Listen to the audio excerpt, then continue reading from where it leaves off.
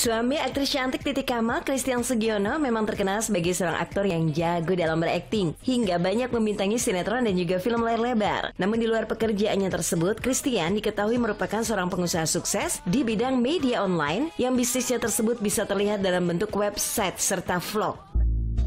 Selamat malam internet, nama gue Christian Sugiono atau biasa dipanggil Tian atau teman-teman SMA gue biasa manggil gue Bule atau teman-teman yang lebih dekat lagi biasa manggil gue Sugi atau orang kebanyakan nonton infotainment dan sinetron dan tabloid dan lain sebagainya biasa manggil gue kadang-kadang eh itu suaminya Titi Kamal kan? Sebenarnya channel YouTube gue gue bikin tahun 2008. Cuman kan waktu itu YouTube belum heboh kan. Gue bikin, gue emang seneng dari dulu seneng bikin video. Selalu gue bikin video, gue upload. Cuman bentuknya bukan vlog gitu. Kalau misalnya dari channel YouTube gue sih ya ada beberapa video banyak kebanyakan video traveling. Karena gue lebih seneng sebenarnya uh, videografi. Gue lebih seneng main drone, underwater, lagi jalan-jalan gitu.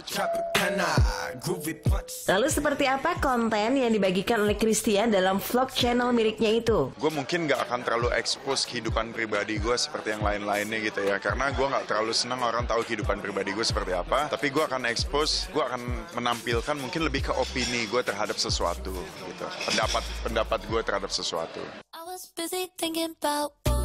dan tentunya Christian pun tak lupa untuk membagikan tips penting bagaimana menjadi seorang vlogger yang baik agar konten yang dibagikan menarik bagi para netizen. Kalau mau bikin vlog tuh yang penting lo harus tahu mau ngapain gitu. Kadang-kadang kalau gue lihat di sini banyak orang vlog cuman Hai hari ini gue mau ke sini, ke sini, ke sini ya oke seru buat lo dan teman-teman lo gitu ya. Cuman buat the audience ya sebenarnya nggak apa-apa juga. Mungkin dia buat kenang-kenangan dia taruh. Cuman ya tadi mau ngapain? Kalau misalnya mau dapetin penonton banyak ya kalian harus tahu pertama penonton kalian itu siapa. Ya, kalau misalnya gue ingin menampilkan apa adanya gue, gue ingin beropini terhadap sesuatu ya jadilah be yourself gitu. Nggak usah terlalu ngikutin yang kanan kiri.